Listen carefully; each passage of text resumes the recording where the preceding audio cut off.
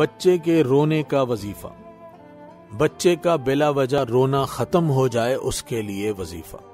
واضح رہے کہ ہر بچہ عموماً روتا ہے اور اس کی وجہ سے زیادہ پریشان نہیں ہونا چاہیے۔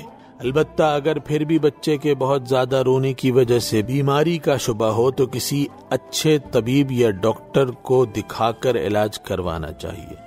نیز اس کے ساتھ ساتھ سورہ فاتحہ اور سورہ تکویر जो कि पैतीसवें पारे में है तीन तीन मरतबा पढ़कर पानी पर दम करके पानी बच्चे को पिलाते रहिए।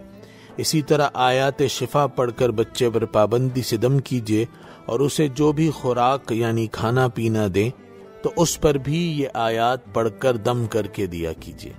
आयात शिफा कुल छह हैं। नंबर एक, वयशफी सुदूर कौम मुमिनीन سورہ توبہ۔ نمبر دو وشفاء لما في الصدور سورة يونس. نمبر تین يخرج من بطونها شراب مختلف ألوانه فيه شفاء للناس. سورة النحل. نمبر چار وننزل من القرآن ما هو شفاء ورحمة للمؤمنين. سورة الإسراء. نمبر پانچ وإذا مرضت فهو يشفين. سورة الشعراء. نمبر چھے قل هو للذين آمنوا هدى وشفاء.